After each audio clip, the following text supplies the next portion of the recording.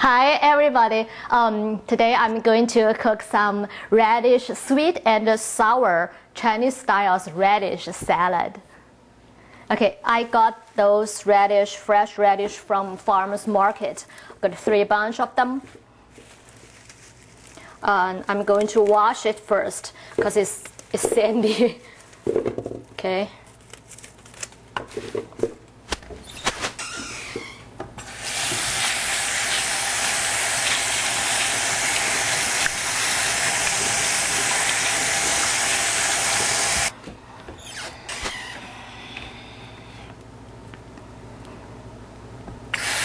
Okay, I wash it and uh, you pick like this and bottom like this. Discard those. Actually, I need to save some tender one for later um, garnish on top. Okay, I only want those radish. Hi, and I washed all of my um, the radish, the three bunches. I got this much. Okay, so I uh, took off the bottom and uh, the top leaves like that. Now I'm going to pat it. Okay, traditional way to do this is use the big clip to do that.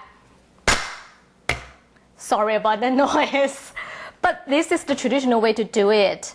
Okay, to pat it like that to break this. Okay, the idea to do this instead of uh, slicing it um, is to um, kind of uh, to um, open up the membranes, let it to absorb more flavor. Okay. Um, this is the traditional way to pat it, to open it. Okay, and you can try to use this, uh, the small knife and use small knife like sometimes when you uh, smash the garlic. You can try to do this yeah, I've done this too.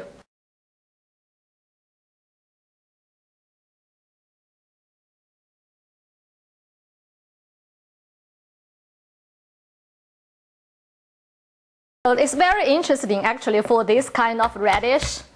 Um, I originally came from China. My city is Nanjing. It's down Yangtze River. You know, this kind of radish in my city, my hometown Nanjing, when I was child, um, by that time, it was a kind of very local plant, local vegetables. You know, interesting. Other city, they have the big radish, big daikons.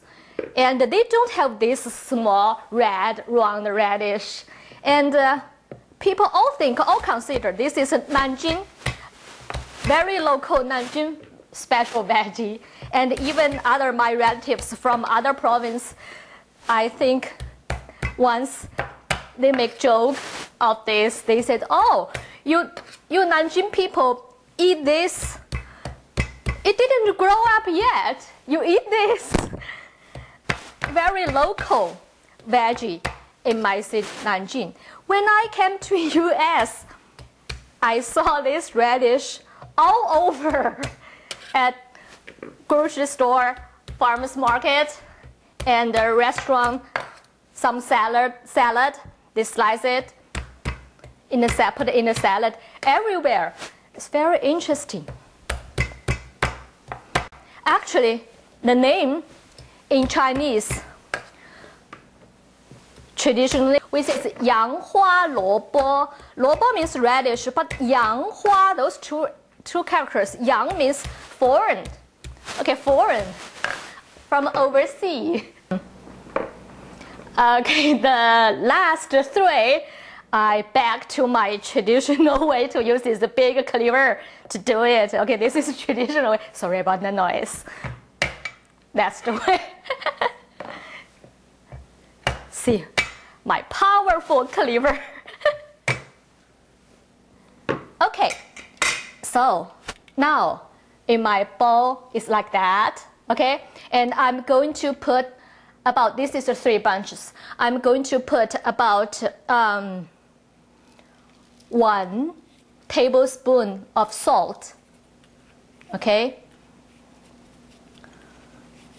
Actually one teaspoon, one teaspoon will be enough. One teaspoon. Okay. Stir it evenly.